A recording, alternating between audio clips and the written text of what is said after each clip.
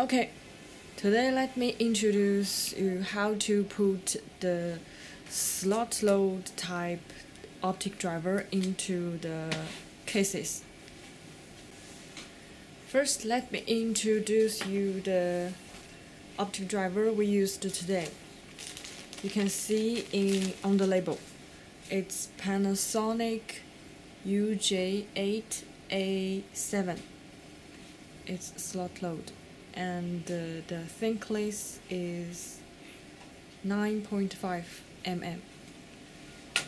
The second one is the ODD cases.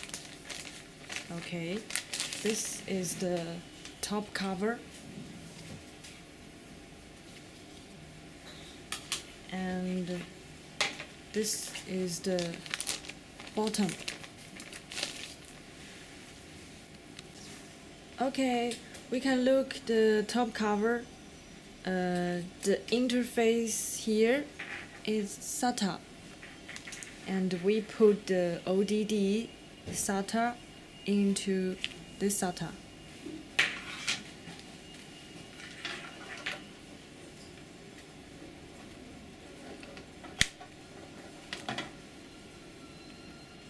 And push push harder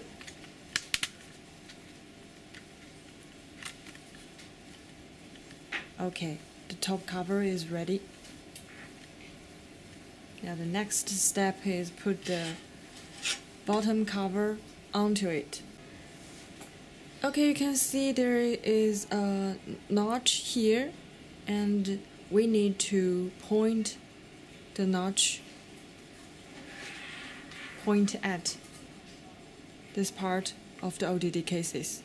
You know there's a line here Okay.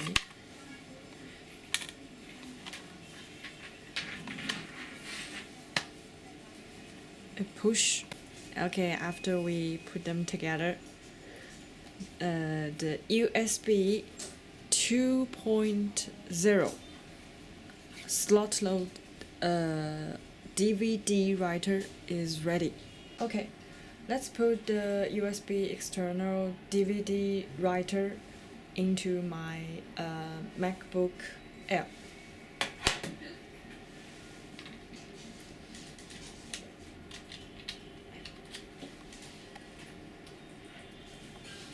You can put a disk for a test. It's a slot loading. Okay. We can see the model of DVD writer in here.